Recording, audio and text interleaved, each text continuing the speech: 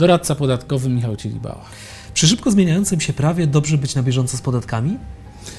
Pewnie, że dobrze, dlatego że nieznajomość prawa szkodzi, a jak nieznajomość prawa szkodzi, to szkodzimy sami sobie e, i możemy wejść w jakieś kłopoty, w konflikt z prawem i to z prawem e, podatkowym, czyli i finanse, i odpowiedzialność karna. Czym zajmuje się doradca podatkowy? No, doradca podatkowy to prawnik, który specjalizuje się w prawie podatkowym. Doradca podatkowy pomoże w sprawach majątkowych, z rozliczenia spadku, e, darowizny, E, wszelkiego rodzaju podatki związane z zakupem nieruchomości, samochodów, no i te coroczne nasze rozliczenia podatkowe, e, które są mimo tego, że mamy teraz formę elektroniczną, to jednak są czasami skomplikowane. Trzeba wiedzieć, co możemy rozliczyć, w jaki sposób. No to jest istotne, żeby to zrobić dobrze i zapłacić podatku tyle, ile trzeba, nie za dużo i nie za mało. W jakich sprawach może pomóc doradca podatkowy? Doradca podatkowy we wszystkich sprawach z podatkami. Y, masz spadek, trzeba załatwić sprawy częściowo w sądzie, częściowo w urzędzie skarbowym. Jak wybierasz się do urzędu skarbowego, to warto iść do doradcy podatkowego, bo on profesjonalnie załatwi Twoje sprawy. Nie musisz się denerwować, y, nie musisz zastanawiać się, w jakie rubryki wypełnić w odpowiednich deklaracjach. Doradca podatkowy jest doskonale przygotowany do tego i wie w jaki sposób y, uzupełnić odpowiednie formularze, uzupełnić je prawidłowo po to, żeby nie narazić się później na konsekwencje związane z nieprawidłowościami. Dlaczego warto współpracować z doradcą podatkowym? Doradca podatkowy niczym opiekun y, przejmie pewne sprawy na bieżąco i warto współpracować z doradcą podatkowym, bo on wie w którym momencie jak zareagować. Wiele reakcji podatników może być spóźnionych w sensie takim, że powiedzą coś, co nie powinni powiedzieć, albo y, w jakiś sposób y, podejdą do sprawy zbyt swobodnie, a są terminy podatkowe, są pewne zobowiązania podatkowe. Trzeba fachowo nazywać transakcje, którymi się operuje, bo całkiem co innego będzie pożyczka, czym innym będzie depozyt Y, czy ewentualnie czym innym jeszcze będzie darowizna.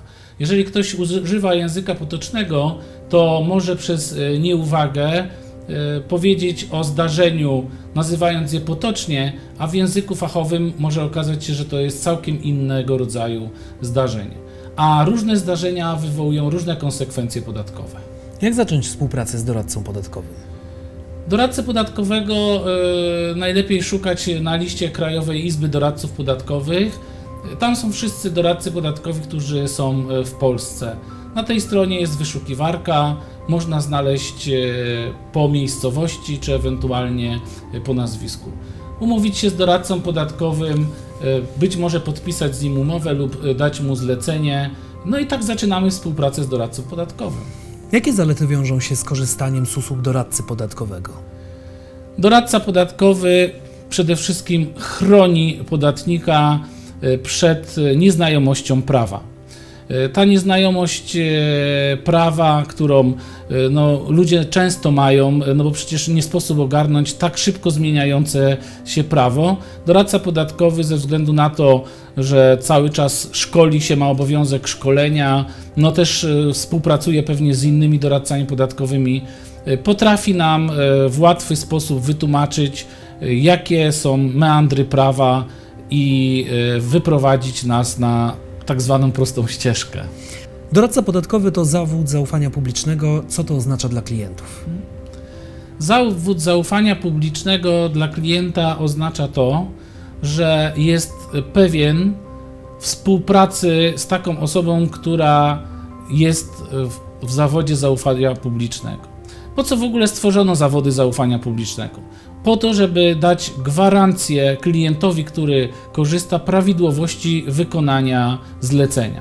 Każdy zawód zaufania publicznego ma swój samorząd, Doradca podatkowy odpowiada i karnie, i dyscyplinarnie przed swoim samorządem, więc stara się, by jego usługi były wykonane zgodnie z przepisami, zgodnie z zasadami etyki. Zawód zaufania publicznego to też e, tajemnica. Doradca podatkowy, niczym spowiednik, e, nie może wyjawić tematów rozmów, które e, ma razem z klientem. Więc to dla klienta jest ważna obrona. Czy doradca podatkowy może być reprezentantem firmy? Doradca podatkowy powinien być reprezentantem firmy. Sprawy podatkowe powinny być w rękach doradcy podatkowego. To on najlepiej potrafi pomóc e, w kontaktach z organami podatkowymi. Jakie są zobowiązania doradcy podatkowego?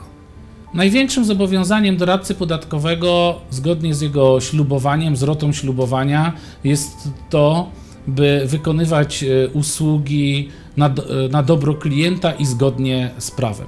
Czyli najwyższym dobrem doradcy podatkowego jest dobro klienta. Musi tak wykonywać swoje usługi, żeby nie naraził prawa. I ta tajemnica zawodowa. Ta tajemnica zawodowa daje gwarancję dobrze wykonanej usługi i temu, że do doradcy podatkowego można wszystko powiedzieć, po to, żeby doradca mógł rzeczywiście pomóc. Bardzo dziękuję za rozmowę. Dziękuję. Tomasz Słodki, do usłyszenia, do zobaczenia.